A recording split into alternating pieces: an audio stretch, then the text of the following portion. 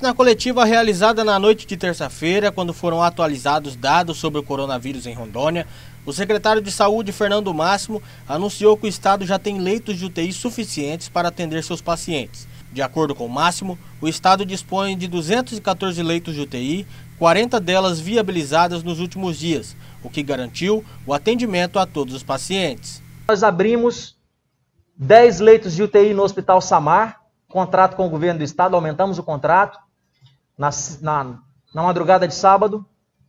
Nós aumentamos ainda 10 leitos no sábado no Cero, 20. Aumentamos ontem 12 leitos no Hospital do Amor, refizemos o convênio com o Hospital do Amor, 32. E mais 10 leitos no Cero. 42 leitos de UTI aumentados desde sexta-feira para cá. Nos municípios há ainda 20 leitos em Vilhena, 10 em Jiparaná, 5 em Jaru, 288 em Ariquemes. No município de Cacoal, os leitos de UTI da rede estadual estão com 100% de lotação. Fernando Máximo disse ainda que a força-tarefa de transferência dos pacientes para outros estados foi desfeita, uma vez que boa parte deles, os seus familiares não estavam concordando com as viagens.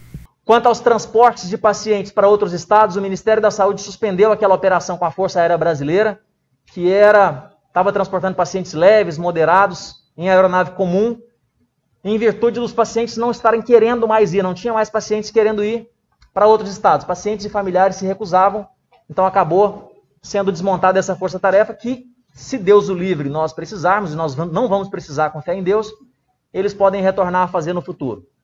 Ah, os transportes aéreos de UTI, também UTI aérea, para outros estados, a gente estava fazendo para Campo Grande e Cuiabá, a partir desse momento não há necessidade, pelo fato da nossa fila ter chegado ao zero. Não temos pacientes aguardando na fila, como eu disse. Tem até alguns que não foram transportados ainda, mas já tem vagas disponíveis para eles. Portanto, a priori estão suspensos também os transportes de pacientes para outros estados. Graças a Deus, nós estamos vencendo, virando essa página e a gente pede que as pessoas continuem se precavendo para que a gente não possa ter dias ruins de novo.